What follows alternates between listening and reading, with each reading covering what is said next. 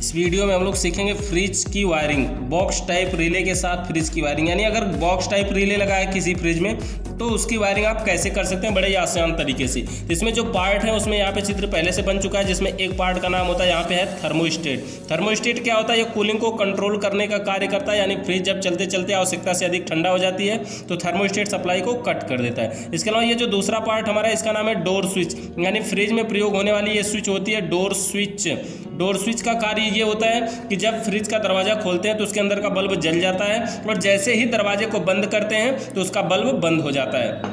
इसके अलावा अगला पार्ट हमारा है इसमें बल्ब। बल्ब क्या होता है? फ्रिज के अंदर रखे सामान को देखने के लिए बल्ब का प्रयोग किया जाता है। उसके अलावा यहाँ पे हमारा न्यूट्रल और फेस का पॉइंट है, जिसमें से हमारी ये मेन लीड है, समझिए कि मेन सप्लाई यहाँ से दिया जाएगा। और ये पॉइंट होता है ये कंप्रेसर और यहाँ पे है बॉक्स टाइप रिले कंप्रेसर का कार्य जानते हैं कंप्रेसर का कार्य होता है गैस को एक स्थान से दूसरे स्थान तक पहुंचाना, इसमें सक्शन लाइन डिस्चार्ज लाइन और ये चार्जिंग लाइन होता है। तो कंप्रेसर गैस को एक स्थान से दूसरे स्थान तक पहुंचाता है।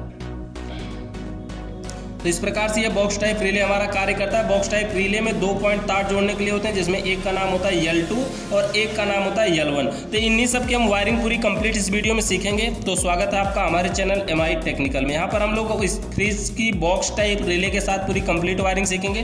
तो वायरिंग में सबसे पहले शुरू करते हैं न्यूट्रल के साथ। कोई भी वायरिंग करना चाहिए तो जब न्यूट्रल के साथ सबसे पहले शुरू करते हैं तो न्यूट्रल के वायर को सबसे पहले डायरेक्ट थर्मोस्टेट के किसी एक पॉइंट में जोड़ा गया होता है। यानी कि सबसे पहले न्यूट्रल का वायर डायरेक्ट थर्मोस्टेट के किसी एक पॉइंट में जाता है और जिस पॉइंट में जाएगा, उसी पॉइंट से वापस आकर के डोर स्विच में जाएगा और डोर स्विच का अगला पॉइंट बल्ब में जाएगा और बल्ब का जो अगला पॉइंट होता है, ये जो बल्ब का अगला पॉइंट है, इसको फेस में दे दिया जाता है। यानी न्यूट्रल डायरेक्ट थर्मोस्टेट के किसी एक पॉइंट में, जिस पॉइंट में गया, वहीं से डोर स्विच को और डोर स्विच का अगला बल्ब को और बल्ब का अगला फेस को।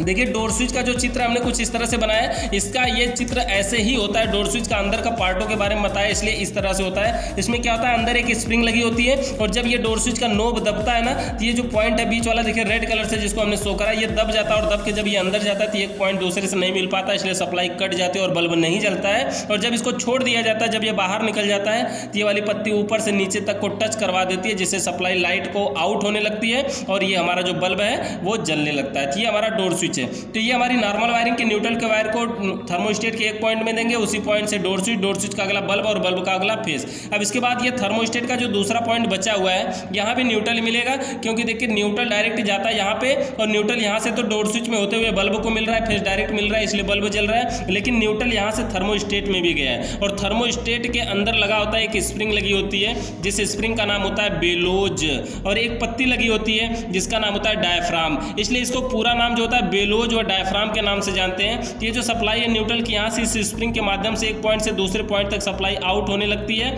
और जब आउट होने लगती है तो यहाँ से आउट होकर के लाइट आएगी और इसको जोड़ दिया जाएगा। देखिए, अब तक ओएलपी लगती थी, लेकिन इस वायरिंग में ओ नहीं लगी हुई है। इस वायरिंग में ओएलपी नहीं लगी है तो यहाँ से लेकर के आएँगे इसको रिले के यल पॉइंट में जोड़ना है। यानी कि अगर फ्रिज में बॉक्स टाइप रिले लगा है तो थर्मोस्टेट के आउटपुट वाला पॉइंट रिले के यल टू पॉइंट में जोड़ना होगा और रिले के यल वन पॉइंट में रिले के यल वन पॉइंट में फेस की सप्लाई को देना होगा। बस रिले के यल टू में न्यूट्रल और यल वन में फेस और यहाँ से इस रिले को डायरेक्ट उठा के कंप्रेसर पर लगा दिया जाएगा, जिससे कामन को कामन में सप्लाई मिल जाएगी रनिंग को रनिंग में और स्टार्टिंग को स्टार्टिंग में डायरेक्ट सप्लाई मिल जाएगी। और इसके अंदर ओएलपी अंदर से लगी होती है, हमें अलग से लगाने की कोई ज़रूरत नहीं होती है। है। तो इस प्रकार से वायरिंग बहुत ही सिंपल तरीके से हो सकता है कि न्यूट्रल डायरेक्ट थर्मोस्टेट के एक पॉइंट में, उसी पॉइंट से डोर स्विच को, डोर स्विच का अगला बल्ब को और बल्ब का अगला पॉइंट फेस को दे दिया जाता है। इस तरह से वायरिंग कंप्लीट हो जाती है हमारी और इसको बॉक्स टाइप रिले को फिर सीधे तरीके से लगा दिया जाता है और ये कार्य करता रहता है। तो वीडियो अगर पसंद आई हो तो चैनल को सब्सक्राइब करें।